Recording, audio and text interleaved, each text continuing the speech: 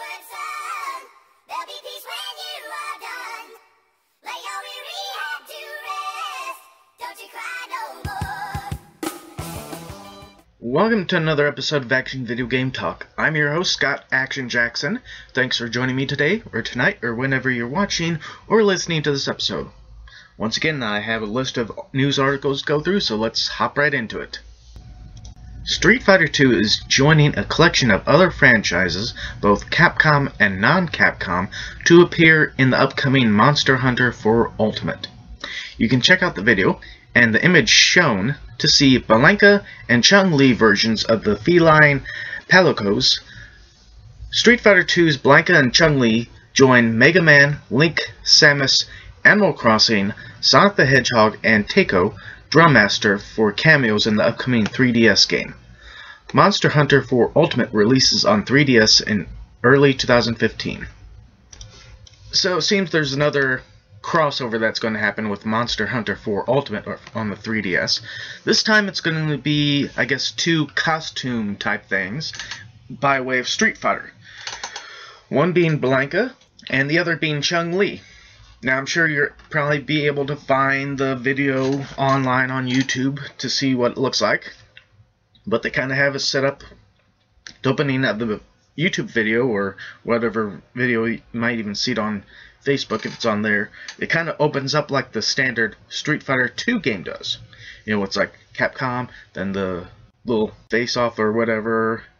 But this is not the only recent crossover that's been announced. There is one other one. Disney's hit animated film Frozen is getting the sack. A costume pack featuring Elsa, Anna, Kristoff, Olaf, and more are coming to Little Big Planet. Each costume will be available individually for $1.99, or you can purchase the whole bundle for $5.99. Getting the set is the only way to get the Olaf outfit. You'll be able to get these today, December 16th, when the store refreshes. You can also download the free Winter Creators Kit, so the Frozen cast has a natural environment in which to play. With just about everything that can get Frozen thrown on, from cups to little posters and figures and costumes. You know, at, at this point, it's more like, ah, hell, why not? So we got the little Big Planet Frozen pack. Or you could just buy each and every one of these costumes separately, but if you do it that way, you won't be getting the Olaf outfit.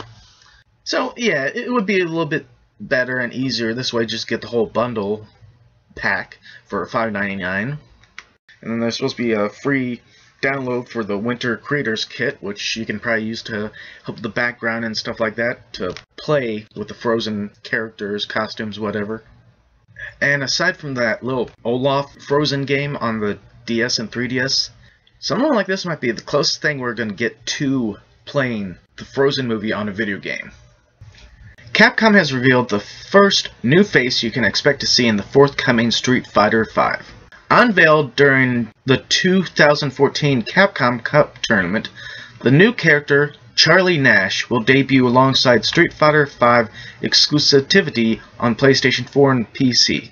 Charlie originally appeared in Street Fighter Alpha, but judging by the reveal, will be somewhat updated version of the character. Capcom producer Yoshinori Ono appeared on stage dressed as Charlie after the event to discuss Street Fighter V and to announce that Capcom Pro Tour and Capcom Cup will continue next year with a $500,000 prize purse. We've been hard at work at Street Fighter V, and we promise this product will be the one that brings fighting games into the next era, said Ono. This will be a huge step for us and our community. The next iteration of the series will also feature cross-platform play, allowing users from both PlayStation 4 and PC to battle against one another, Ono confirmed during last week's PlayStation Experience event. Now, I just watched the little video that showed this tease of the Charlie character. The first part you see is a pair of glasses or something on the table. In which case, if you see something like that by way of Capcom, at first you think Albert Wesker. But then the guy with blonde hair puts on glasses and a little oval light glows on his forehead. So I don't know if something has happened to this Charlie character or not. Maybe Bison got a hold of him and did some experiment. At least they're trying to reveal more characters that's going to be in the game besides from the standard ones that we know of. Right now, we know Ryu's in, Chun-Li is in, this Charlie is in, so we probably will see a few more characters revealed. Tetris Ultimate is heading to the PlayStation 4 and Xbox One on December 16th and 17th respectively. Though already out on the Nintendo 3DS, Tetris Ultimate had yet to have its new gen console release date scheduled by publisher Ubisoft. A recent post on Ubisoft's official blog, however, has now confirmed that the Tecmo-tastic game is arriving on consoles this week. Tetris Ultimate game modes includes Endless, clear those lines, Ultra, score as much as possible inside the 3 minute limit, Battle, head to head with 1 to 4 challengers, Marathon, compete level 15 and keep racking up the points, and Battle Ultimate. Use power-ups to smite those challengers. So this fun little Tetris game that was released on the Nintendo 3DS is finally coming to the systems, but it's coming to the new generation systems, PlayStation 4 and Xbox One, which is a bit of a disappointment. I mean, a game like this should be coming across all video game systems. Not only the new generation ones, but the older ones. Well, current ones. It should be not only PlayStation 4, Xbox One, but also PS3, 360, and even the Wii U. Even though Ubisoft doesn't really like the Wii U, those fuckers. But for anybody who has played a Tetris game, they know how much fun this game can be. So, yeah, you should give this a shot. The Destiny development team released a new patch that fixes some issues introduced in Dark Below. Most of these are just minor fixes, but the biggest is probably making the Fist of Crota replayable. Previously, you could not repeat the mission, which was troublesome for finishing bounties. Bungie added we are also continuing to support the Destiny sandbox with changes that were identified prior to the launch of Expansion 1.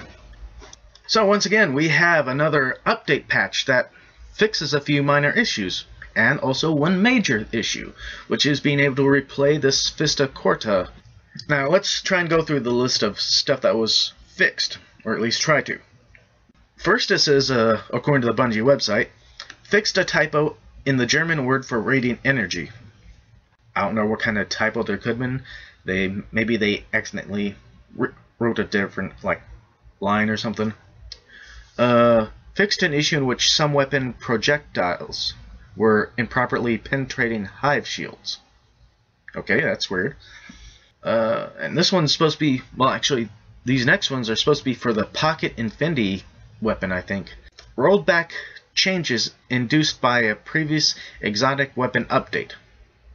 Charged up and deactivation now work as originally designed. Players may again encounter the previous known issue which prevents charge up. So those were little fixes that they did with Pocket Infinity exotic weapon.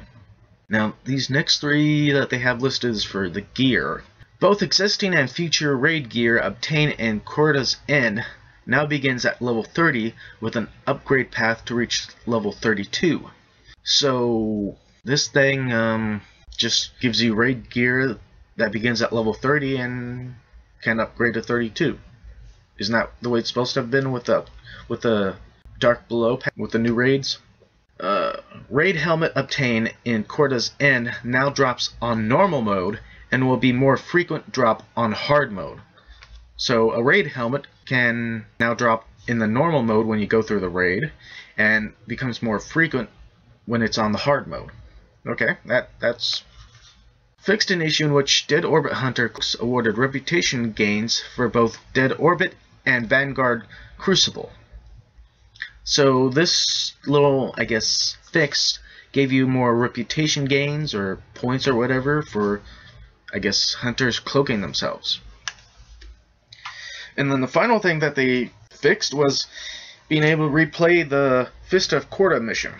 And if you don't remember, the Fist of Crota was one hell of a boss to try and destroy when you got to him. Well, that's it for this episode of Action Video Game Talk. Once again, thanks for joining me today or tonight or whenever you're watching or listening to this episode. Later on, I'll have the separate clips up if you want to check those out. Down below, I'll have the Facebook link if you want to check out that. On check out the Facebook page for Action Video Game Talk. Uh, until next time, bye.